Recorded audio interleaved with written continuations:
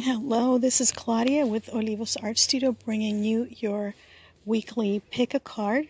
I am at the seaside in a beautiful place filled with eucalyptus trees.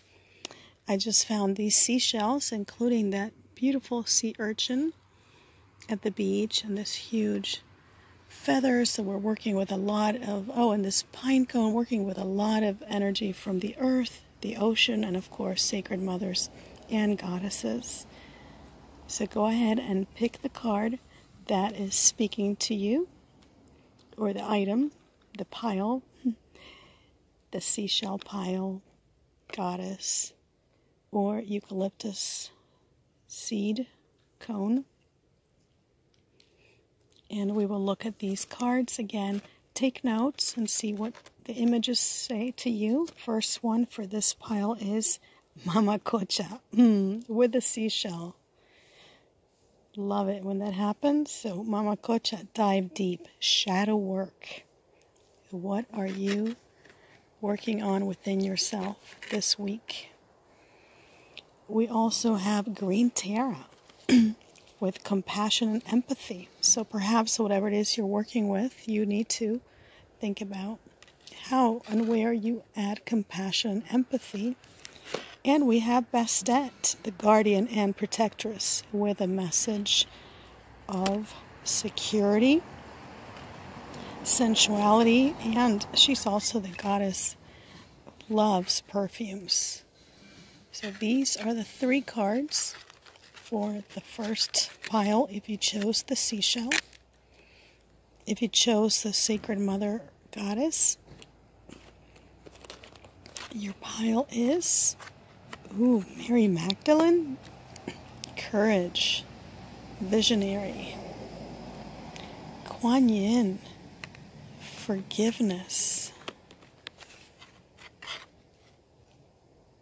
And Rhiannon for self love. Mm. I'm really liking how these spreads of three are working together. Let's see what the eucalyptus pine cone has in store for us, for you. Ooh, embrace the sacred feminine. And Gaia for evolution.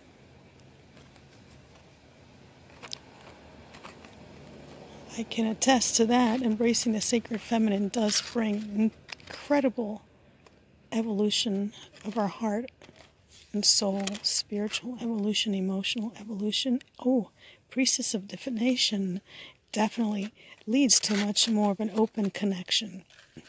Love these spreads. Love these three. Very nice.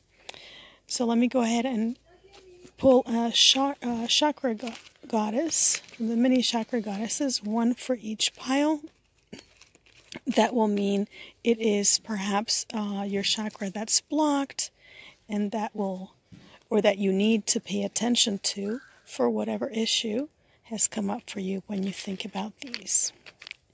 And today I'm not going to put the chakras, mini goddesses back after I pull them. I'm going to pull one for each one. So, first one, ooh,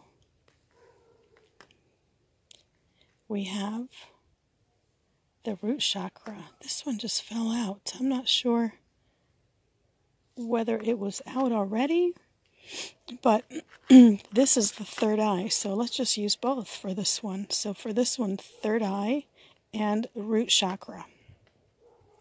So intuition and definitely grounding for this pile. I am going to have to put them back because many of them came out. Okay, Let's see for the second pile we have the sacral.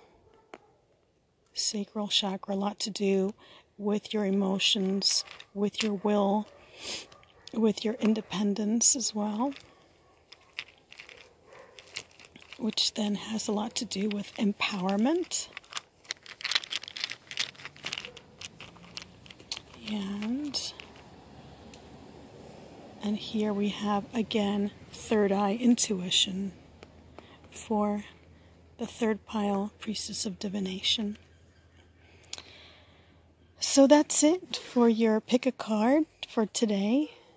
I hope that it blessed you. Leave me a message. Let me know if these are bringing you messages. I hope so. I hope they um, are an, a beautiful tool for you to use on your path.